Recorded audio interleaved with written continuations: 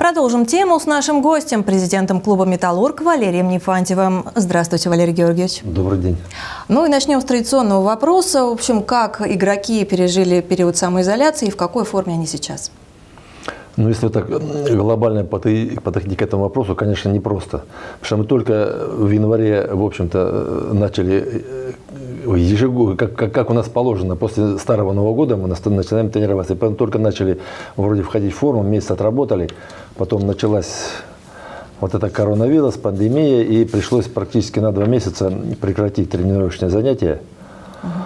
Ну, тут, конечно, сказалось определенным образом на э, физической готовности игроков, но тем не менее, э, затем, когда вот разрешили э, сначала тренироваться, то мы очень активно приступили к тренировочным занятиям по два раза в день, и я думаю, что вот сейчас к началу спортивного сезона к Кубку России ребята подошли, я думаю, на 96% готовы для того, чтобы бороться за первое место.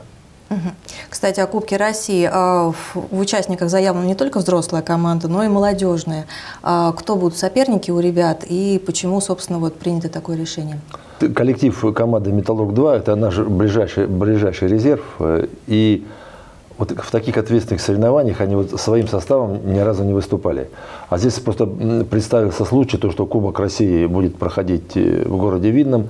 Не надо никуда выезжать, э, не надо тратить э, большие средства для того, чтобы поехать куда-то. И поэтому дома у себя решили попробовать молодежь, ближайший резерв команды «Металлург», чтобы посмотреть на них, как они будут чисто своим составом играть. Вот чисто. Никто уже помогать из наших профессоров, ни Сосницкий, ни Гусев, ни Криштопа, им помогать не будут. Поэтому будем смотреть на них, что они сами из себя представляют, чтобы ну, я думаю, через год, два, не, год рановато, а через 2-3-4 года, чтобы они могли уже в полную силу заменить кого-нибудь из наших вот ведущих игроков в основной команде «Металлург». А с кем будут они играть? То есть кто будет соперники? Ну, состав тот же самый. Заявилось пять команд с, с нашим. Это четыре первые команды с прошлого года, по результатам прошлого года чемпионата России. Это Колос Ипатова, э, Агрокомплекс, станица Кирпийская, Краснодарский край, Ковровец, Владимирская область, Металлург и Металлург-2. То есть пять команд будет. 12 числа в день города, в юбилей нашего родного города в его 55-летие пройдет финал. Я, я думаю, что Металлург, я даже не сомневаюсь, что он будет в финале, а вот Металлург-2 может преподнести сюрприз. К сожалению, в этом году не удалось провести чемпионат Европы в Видном. А какая-то сейчас работа ведется в этом направлении? Подготовка была очень серьезная, уже начата серьезная подготовка. Было уже принято распоряжение главы, составлен план мероприятий по подготовке, ответственно, назначены ответственные лица и сроки исполнения. И много надо было сделать, и уже начали делать. Но, к сожалению, вот так свершилось, что пришлось Международная федерация, пошла к нам навстречу, и не совсем отменила в городе Видное, а перенесли на 21, на 21 год.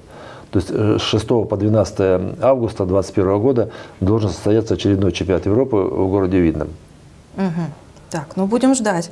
А, ну и, в общем, напоследок э, сейчас у вас такая возможность обратиться к нашим телезрителям и лично пригласить на будущее соревнования. Дорогие зрители, дорогие наши болельщики, Большой был перерыв, большой был перерыв, и нельзя было на стадион приходить. Но сейчас, опять же, разрешили, правда, не полностью стадион, но, по крайней мере, 50% мы имеем право зрителей пускать. Поэтому приходите, играть с полными трибунами, когда вы болеете за ребят, конечно, гораздо приятнее. Поэтому вас очень ждем. 8, 9, 10 отборочный этап, 11, 2 полуфинала.